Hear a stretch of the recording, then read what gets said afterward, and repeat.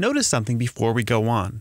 Even though we have a true effect of 20 points, that is, we've shifted the center of our sampling distribution of z sub x bar up to here, we still will get sample means sometimes from this distribution down here around 110, or even sometimes down here around 102.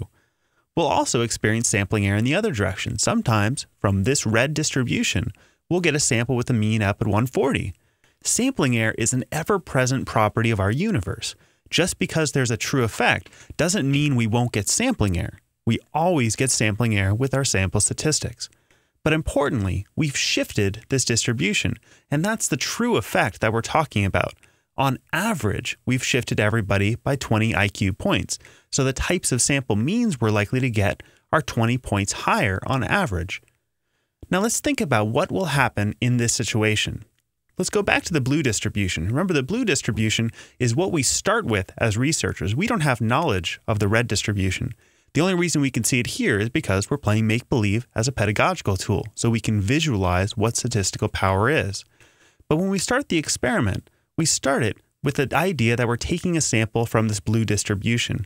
And that's where we get our critical regions. That is, the negative 1.96 z score out to negative infinity, and the positive 1.96 z score out to positive infinity. Those are the regions we picked with an alpha of 0.05, where if we got a sample more extreme, we would be willing to reject the idea that our sample is coming from the blue distribution. Let me say it again. If we get a sample that's more extreme than positive 1.96 in the positive direction, or less than negative 1.96 in the negative direction, those are samples that we agreed before we did the study that would lead us to reject the null hypothesis. So, if those are the regions, if those are the cut points where we need to exceed in order to reject the null, let's consider the portion of the sampling distribution of z sub x bar if h1 is true. That is the sampling distribution under the alternative hypothesis. Let's consider the region that's more positive than that z critical of positive 1.96. If you look at this region, that portion of this sampling distribution are all the samples that would allow us to reject the null. Remember, we're treating our samples in relation to the distribution under the null hypothesis, but we know, because we're playing make believe, that our sample is coming from the alternative distribution, the sampling distribution of z sub x bar if h1 is true. So this region is the proportion of z sub x bar under h1 where our z sub x bar statistics are exceeding the z critical. This is also the location where the two-tailed p-value of each of those z sub x bars would be less than alpha. And remember, anytime we have a two-tailed p-value less than alpha, that's a situation where we reject the null hypothesis. So these are the samples where we'll actually say there's a real effect in the world. These are the samples where we've detected that real effect. Remember, if our sample is coming from the distribution under H1, the distribution where the alternative is true, and we reject the null hypothesis, well, that's a correct decision. So, this region I've just shaded for this particular situation is the power of this test statistic. That is, this is the region of 1 minus beta. And the complement, all the samples on the other side of that cut point, that is, all the samples over here where we didn't exceed the critical value, well, that is the region of beta. Now notice, I have both of the distributions shaded here, but we can remove completely the distribution under the null hypothesis. This is the distribution where our sample is coming from.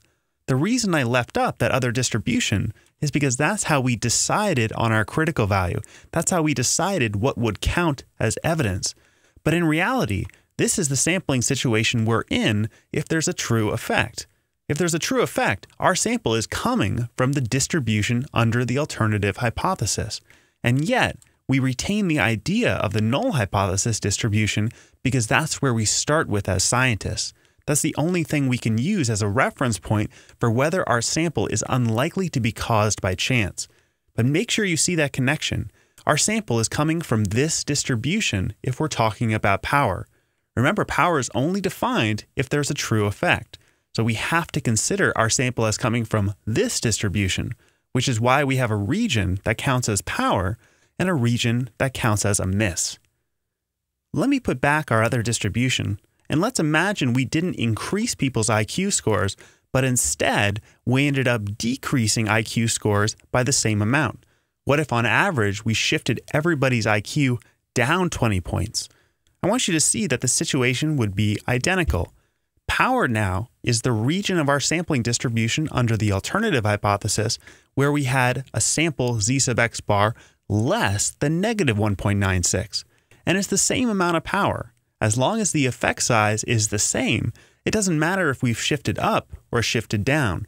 Power is still defined because we're taking a sample from a distribution where the alternative hypothesis is true. Now let's return to our original situation. I think it's easier to think about us improving people's IQ, and certainly that's something we would hope if we're giving a nootropic. So now let's consider the factors that affect power.